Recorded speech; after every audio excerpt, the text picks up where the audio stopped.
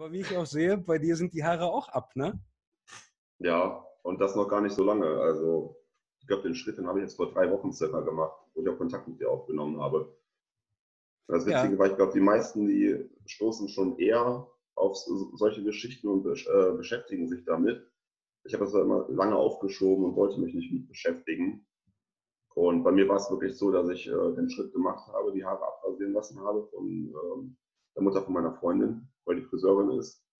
Und direkt danach, weil ich irgendwie was brauchte, womit ich damit klarkommen kann, habe ich mich an den Laptop gesetzt, äh, ja, so, so im Homeoffice gewesen und ähm, bin dann auf deinen äh, Podcast gestoßen. Mhm. Und dann habe ich mir wirklich eine Folge nach der anderen reingezogen und damit ähm, ja, so wirklich eine Hilfe gefunden, das zu verarbeiten, weil es war für mich schon ein schwieriger Schritt. Also ich hatte an dem Montag, es war montags, glaube ich, oder nee, sonntags war das, ich hatte sonntags mit meiner Freundin gesprochen, äh, morgens äh, in der Küche und habe gesagt, ich glaube, ich mache das jetzt.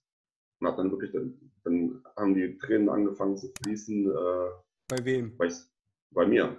Okay, ja. Also für mich war das echt eine sehr schwierige Sache. Ähm, ich habe schon seit, äh, seit ich 18 bin, so in dem mhm. Dreh, da hat das ganz leicht angefangen und ähm, das war halt schwierig für mich damit äh, umzugehen, ne? weil ich mich lange nicht mit beschäftigt, bis es wirklich äh, irgendwann mal so weit war, dass ich davor angesprochen wurde, dass ich hinten langsam lichtes Haar bekomme. Willkommen im Club, genau so war es bei genau. mir auch. Ja, deswegen, also es gibt viele Parallelen auch zu, äh, zu anderen Podcast-Teilnehmern. Also ich habe in vielen Episoden so viele äh, vergleichbare Szenerien mitbekommen, also das ist schon krass.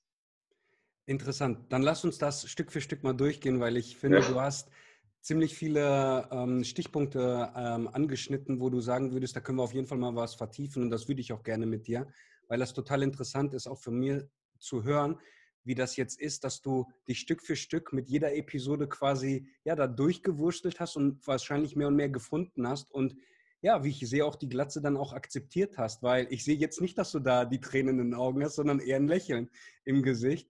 Und ähm,